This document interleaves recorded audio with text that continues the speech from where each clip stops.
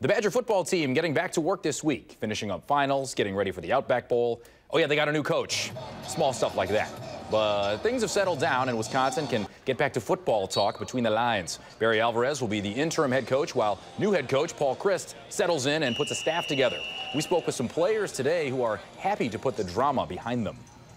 It's been crazy, you know. You never, like you said, you never know what's going to happen. Um, obviously, we we had a lot of trust in Coach Alvarez. We knew he would do a good job finding a coach for us, and um, he did that. This week, everything's running smooth. Practice is running smooth.